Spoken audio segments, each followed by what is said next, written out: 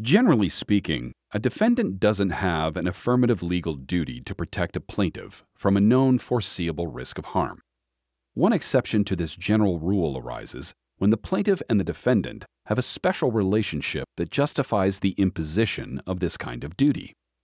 In Munn versus the Hotchkiss School, we explore one such special relationship. 15 year old Cara Munn was a student at the Hotchkiss School, a private boarding school. The summer after her freshman year, Munn went on an educational trip to China organized by the school.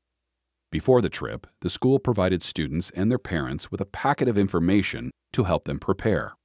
The director of the school's international program knew that tick borne encephalitis was a risk in forested areas of northeastern China. The director also knew that the CDC recommended that visitors to these areas use insect repellent and wear long sleeves and pants. However, the school did not convey this information to parents. The trip included a hike up a forested mountain in an affected region. The students, who wore shorts, t shirts, and tank tops on the hike, weren't warned to use bug spray. Munn and her friends got lost on their way down the mountain and finished the hike covered in insect bites. Ten days later, Munn came down with encephalitis and suffered permanent brain damage.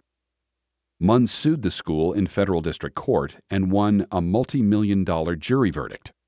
The school appealed to the Second Circuit, but the court could not determine whether Connecticut schools had a duty to protect students from the foreseeable risk of insect borne illness during school organized trips. The Second Circuit certified this question to the Connecticut Supreme Court.